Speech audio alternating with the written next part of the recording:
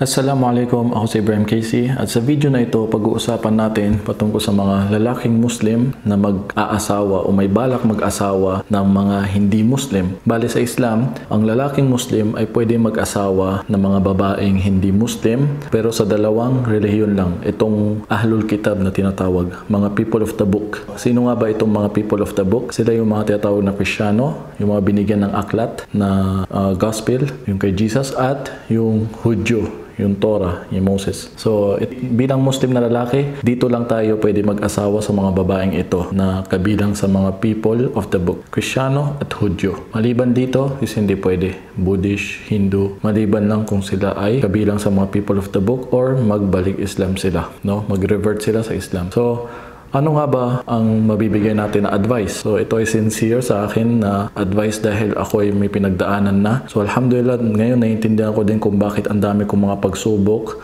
mga ganitong pinagdaanan sa Pasko, sa buhay ko noon para hinahanda, hinahanda pala ako ng Allah na balang araw kasi magiging ganito pala ako isang video maker, isang uh, vlogger, YouTuber o isang preacher na mag, uh, mag-share ng mga na-experience sa buhay. So ang ganda makinig sa isang taong pinagdaanan niya talaga yung bagay na ina-advise niya sa iyo kasi may experience na siya. Pinagdaanan niya talaga, 'di ba? Isa na siyang tatay, isa na siyang dating may asawa. So, dep- sa story niya, may matutunan tayo doon. So, inshallah, sa akin naman kasi noon sa Pasko, nakapag-asawa ako ng babaeng hindi Muslim, isang Kristiyano. Tapos, mga after one month ko na siya nakilala na nagbalik Islam siya, ginusto niya talaga, no? So, alhamdulillah naman sa gabay ng Allah dahil siya ang gumagabay. So, mahilig na talaga kasi ako mag-share ng Islam. At tumagal, pinagbigyan ko lang na dahan-dahan i-practice hanggat sa umabot na kami ng itong buong story. Shortcut ko na ng 8 years 8 years na. Sa loob ng 8 years, on-off ang hijab. Mahirap na hirapan magsala. Hindi naman talaga nagsasala na ano. So, wala doon yung hinahanap ko sa isang Muslim. Alam mo, kung ikaw si lalaki na isang Muslim at religyoso ka, nakita mo sa sarili mo is mahal mo talaga ang Islam, ay hindi babagay sa iyo yung ganitong babae. Kasi alam ko, alam ko hindi mo matitiis. No? Na ikaw isang sheikh o isang ustad o isang reliyosong Muslim, kilala ka sa mga tao. Tapos, may asawa kang andyan, lumalabas sa bahay na naka-short, hindi practicing, kita ang buhok. So, siguro nagigets mo ako, parang hindi magkamatch ang itsura, di ba? So, may sheikh din nagsabi sa akin, anong pakialam ng tao kung sakaling ganun ang asawa mo kasi alam mo naman, alam naman na pwede naman mag-asawa ang lalaki ng hindi Muslim kahit, ang ibig sabihin din kahit hindi siya mag-convert o hindi siya mag-revert, hindi siya magbalik Islam. Kasi ang lalaki naman ang namumuno sa bahay, di ba? Ang padre de pamilya. So, sure, walang baboy sa bahay, walang alak kasi ikaw ang padre de pamilya. Kahit ang asawa mo is hindi Muslim, basta mga anak mo ay susunod sa pananampalataya mo. Pero kung ganito naman is sobra na, hindi naman siya sumusunod din sa kanyang relihiyon. Kasi ang dapat dito, may mga kategory din yan eh. Nakalimutan ko lang pero inshallah i-review ko sa ibang video na lang. May mga rulings yan kung ano yung klaseng uh, people of the book talaga na dapat mong asawahin. Meron ako naalala is dapat talaga krisyano talaga siya practicing na krisyana no? So, hindi ibig sabihin yung krisyano nga siya pero hindi na pupunta sa church. Ganun, ganun yung mga pwede natin asawahin. Yung talaga nagpa-practice siya sa pagiging Christian niya. So, umiiwas siya sa mga pinagbabawal. Kasi isa din ng Diyos na nagpadala niyan eh. Yung dating pinagbabawal sa kanila is pinagbabawal din sa atin. Bawal kumain ng baboy noon, panahon sa kanila, sa mga Hudyo at Krisyano, sa, sa, ano, sa aklat ni Moses, sa aklat ni Jesus. Ganun din sa atin. Bawal din alak, bawal din. So, isang Diyos na nagpadala. So, dapat sundin niya yung talagang batas. Ngayon, ang mangyayari, kung hindi naman ikaw religyoso na lalaki. So, sa tingin ko, nagiging okay lang minsan yung dalawang mag-asawang ganito. Kasi si lalaki din is para naman mukhang krisyano na din ang itsura na hindi na din nagdadasal, ganun. Pero, yun, kaya naging asawa niya is kristyanong babae din na parehas na silang parang wala namang problema dahil mukha na din kristyano si lalaki. Naglalasing na din itong Muslim na lalaking hindi naman practicing, hindi na mahal yung kanyang relihiyon. Pero uh, may nag-PM kasi sa akin ngayon na yung nga, nasa Makkah siya, nahirapan siya sa asawa niya, ganito, ganyan. Sa totoo lang, marami na, hindi ka lang nag-iisa. So, dati ko nang gustong gawin tong video, na late lang lagi. Ngayon, alhamdulillah, nagawan natin na pagbigyan ng oras. So, anong na-experience ko nangyari din is wala. Hindi ko din nakuha yung gusto ko na makakita ng asawa ko na nag-hijab, nagsasala kasama ko, nakakaintindi sa faith ko.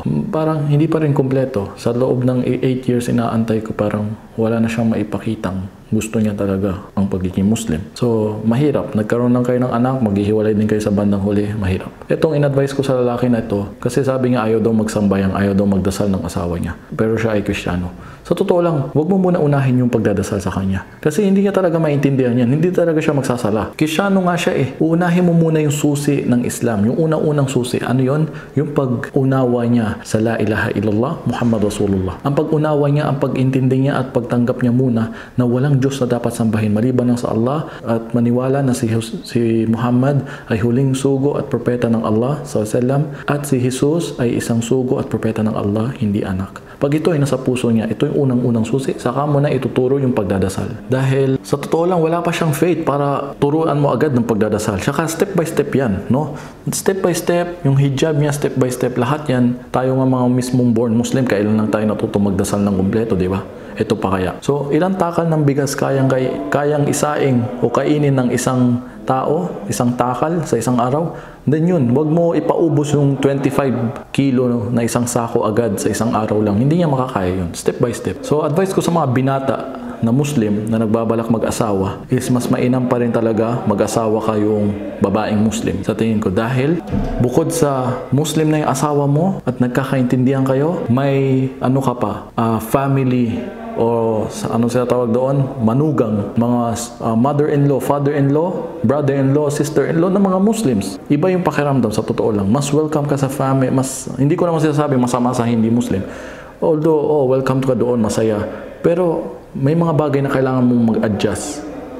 Mag-a-adjust sila at mag-a-adjust ka din mag adjust sila na nagkaroon yung anak nilang babae na Muslim na lalaki, na asawa. At mag adjust ka din na nagkaroon ka ng mga manugang na hindi Muslim. Pero magandang part siya kung idadawa, i-share mo ang Islam para maging Muslim sila kung ikaw ang naging daan. Pero kung mahirap, alanganin, huwag mo nang ituloy. Lalo kung yung babae is may attitude, hindi naman talaga siya practicing. Sabi nga ila, naghahanap ka ng asawa, huwag mong hanapin sa bar, sa disco bar, sa club.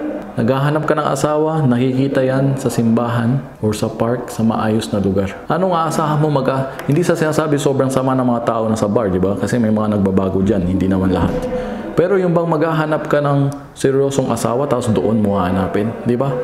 So, anong i-expect mo? Dati, dati may kwento sa akin, isang Arabo sa UAE, nakapag-asawa siya ng non-Muslim na babae.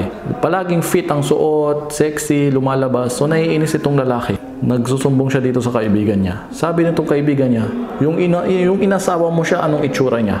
Ganyan, di ba? So, expected mo, ganyan talaga ang magiging buhay mo sa kanya. Unless magbago siya sa sarili niya o gabayan siya ng Allah. Nagets nyo? So kung wala ang gabay ng Allah, kahit sino pa, di ba sa khutbah lagi sinasabi yan sa Friday sermon, may yahdillahu fala mudilla wa may yudlilhu fala hadiya Kung sinong gabayan ng Allah, wala kahit sinong tao sa mundo na makakapagligaw sa kanya. Kahit magsama-sama pa ta- ng lahat ng mga tao sa mundo pa iligaw siya, hindi siya maliligaw. Pag ginabayan siya ng Allah. Pag pinabayaan naman siya ng Allah na maligaw, kahit magtipon-tipon pa tayo mga Muslim sa buong mundo para gabayan siya, ay hindi natin magagawang gabayan. Dahil ang Allah lang ang gumagabay. Pasensya na sa background na maingay kasi may nag speech sa masjid ngayon sa dito sa tabi namin may mosque. So hanggang doon na lang sana uh, nakatulong tong video, nakaligtas ng mga binata dyan na nagbabalak mag-asawa. Alamin nyo muna kasi hindi naman lahat din ng mga babaeng uh, hindi Muslim is masama. No? Marami dyan mga masunurin, mabait.